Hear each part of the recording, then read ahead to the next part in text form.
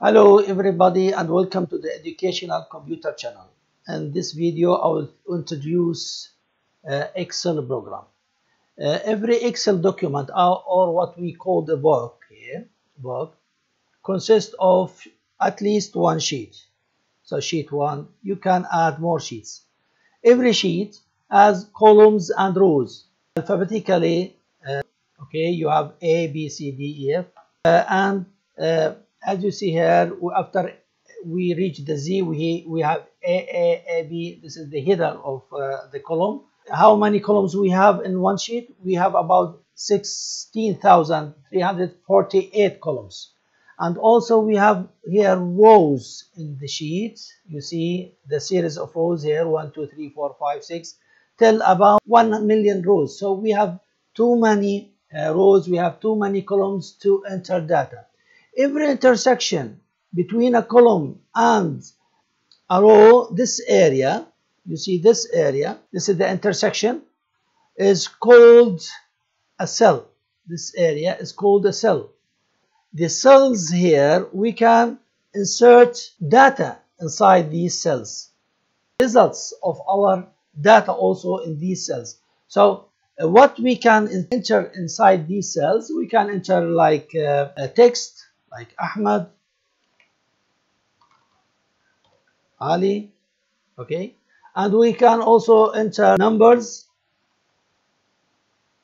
You can enter any number. You can uh, enter formulas equal uh, C plus this and see the result of the formula and so on. So these uh, cells hold data from our entry and then show the results of our uh, formulas of, of our uh, uh, things that we want to apply. So this is the first thing that we have in sheet that uh, is in our Excel book. Uh, the interface here, as you see here, we have the tabs, uh, file menu, home tab, insert tab, and we have tools inside the same as uh, other Microsoft programs.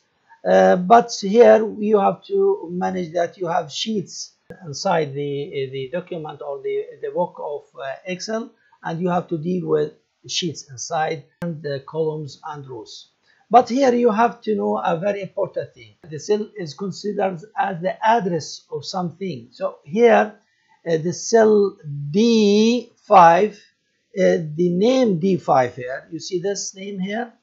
This is the name of this uh, uh, cell, the header name of the column, and the, the series number of the row, D5. So this is D and this is 5. So this is D5.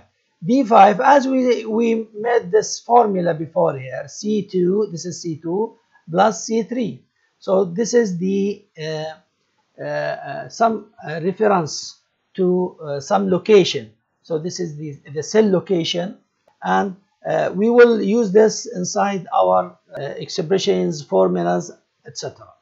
So this is the brief uh, uh, introduction to Excel.